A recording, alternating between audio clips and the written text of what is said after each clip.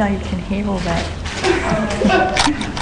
all right, hemodynamic monitoring three, and I've given you your. Um, everyone's got uh, a handout? Lovely. All right, so what I'm going to do first, and I'll have to remember to click down here, is just to revise some concepts which really are about the homeostasis in terms of shock and being able to adapt to shock states. Debbie probably covered a bit of this, but I'm going to look at it from different terms maybe. And you might remember we talked about preload, and this is the right side and all the things that influence preload. Um, of course, the venous bed and venous pressure, uh, the atrial and ventricular compliance, being able to stretch and receive blood, the heart rate, of course, if it's going very fast, you can't feel, uh, and inflow resistance. So if you've got um, an atrium which is stiff and not relaxed, it can't fill. So, uh, and we talked about breathing and how that changes pressure from um, negative to positive and how we can actually draw up blood from our legs that way, how muscles contract and keep blood moving, gravity, if we put our legs up, we get a better venous return, uh, etc. Now this happens also on the left side, but instead of coming from the body system, it comes from the uh, pulmonary bed. And so again we have what the pulmonary venous pressure is, how much blood's in the pulmonary veins, uh, the atrial and ventricular compliance, and of course heart rate. And then we go over things like inflow resistance, which is actually called afterload as well. Uh, we have, if the heart is stiff, of course it doesn't fill, and then you may remember the waves that we get when that left side contracts and the waves that come back from it. And of course, if they, those reflective waves, if they come up and the timing is bad with a contraction, you'll have that obstruction as well.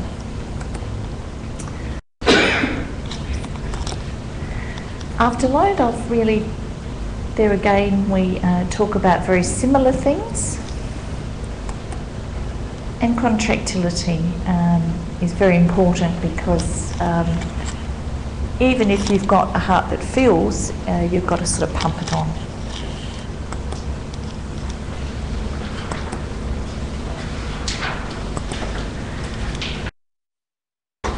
Then looked at factors that affected cardiac output and of course this is quite complex. Just to refresh you, over here we've got cardiac output, which is a combination of heart rate and stroke volume. Heart rate, of course, has um, your autonomic nervous system innervation and some hormone influence. Of course, the atrial reflex too picks up on how filled, how much blood there is and that stretches. So if you don't stretch well, you'll have a high heart rate. Uh, okay, so if we go back and forth here, we have to have the volumes, end diastolic volumes. There's preload and contractility, which we talked about, and preload was affected by the things we just mentioned. Contractility by your nervous system, and again some hormones. And we can see the relationship between mean arterial pressure and cardiac output. uh, systemic vascular resistance is really, really involved there. And if you put it down to a smaller uh, thing, you can see stroke volume times by heart rate times by SVR is really where your map is. And uh, so, now oxygen saturations in the heart, if you're taking it from a pulmonary artery catheter, and SVO2 um, on the yellow side, it's 65% is normal, but if you're taking it from the central line, the 70, 70% is the normal figure that you look for. And these show all the pressures throughout the heart, which are normal there. Okay. Again, the, uh, which you all know and love very well, is the renin-angiotensin aldosterone system um, baroreceptors here um, on the heart and the aorta and the carotids. uh, sends messages to the brainstem. You get vasopressin, which stimulates the kidneys. Uh, we also have an angiotensin converted to angiotensin 1 to 2 in the lung. Sympathetic response, which causes vasoconstriction, as does a bit of angiotensin 2 there. We get um, your uh, sodium changes uh, and we have feedback loops. So, um, all those things that we know and love. Now, if we go to natriuretic peptides, they actually work in the opposite. So they're the, the yin and the yang of, of the RAS system. Um, and natriuretic peptides, there's A from the atria, the C from the vascular endothelium, and B from the ventricles. Uh, and you can see they suppress the renin, angiotensin, and endothelium, which are vasoconstrictors. Uh, and what they do is um, they increase, also increase um, natriuresis. So really the, the other side to the coin there for the RAS system. Now, did Debbie go through inflammatory response? Briefly. Briefly. Well, I'll, I'll just briefly mention it too because it's very complex and when we do sepsis I'll probably go into it a bit more. But, and I've given an example here that inflammatory cytokines which are the result of inflammation that when you cut yourself you get inflammation normally for that to heal. But critically ill patients get inflammation that becomes systemic and there's lots of reasons for that.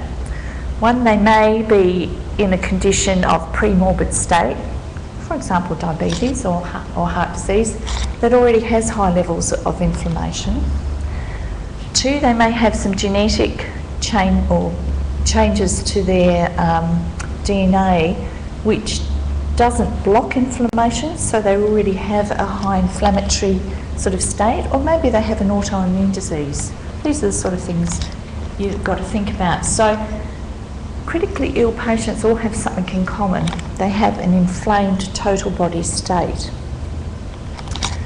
But what that does, it actually impairs function of different organs, and it's very hard to measure apart from looking at C-reactive protein, interleukin 1, interleukin 6, those sort of things.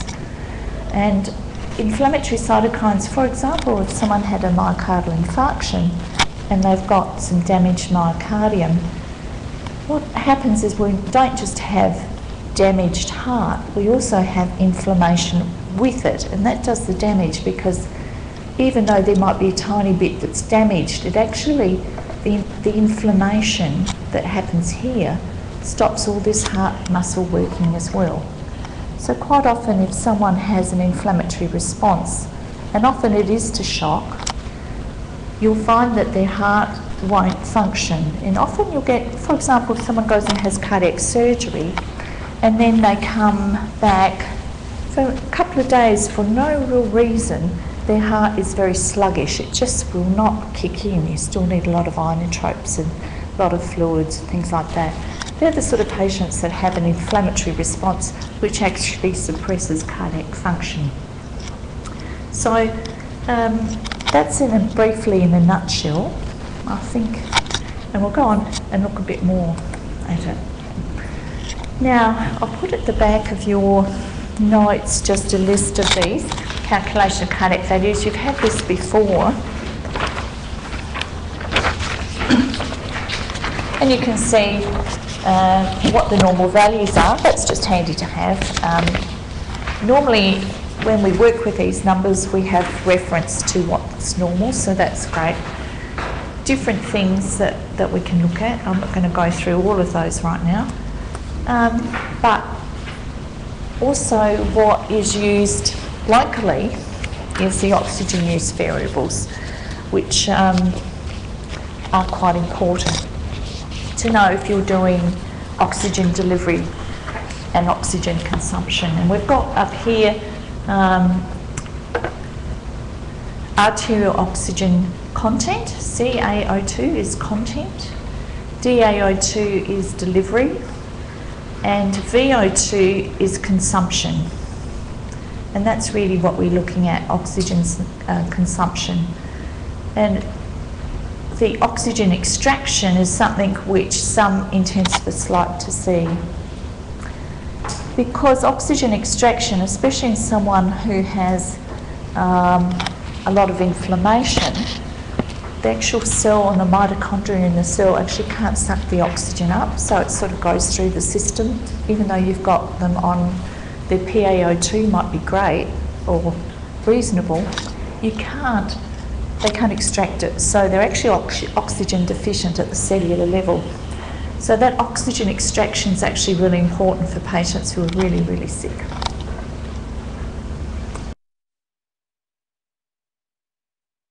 Now, you can see you're all going off to sleep from this. This is, this is hard. So, no, I didn't practice my tap dance. I should have. Anyway. Now, Guyton, blood volume distribution according to Guyton. This isn't new. Um, I've already talked about where the distribution of blood is in the system. Um, okay, so you can see most of it's in the venous reserve which is 65%. But what I want to point out here is that the venous reserve is actually has two compartments to it. One which is an unstressed volume, which just has to take up a certain amount of capacity. capacity, that's a word. and above that is a stressed volume, which is what actually drives blood flow. And we know very well that shock is about lack of perfusion and lack of oxygen uptake. But if we don't have enough blood volume here for it to be under a stressed sort of situation, you're not going to get blood flow. And there's lots of reasons for why that might be. Okay, if, um, for example, if someone's bleeding out, of course the volume will drop down. Or if they've got distributive shock where they everything widens out and this still this goes down here. So the stress volume you'll find is is actually manifest by the sympathetic nervous system and it's also if someone has um, noradrenaline running that will make this part under a stress system as well. So that's how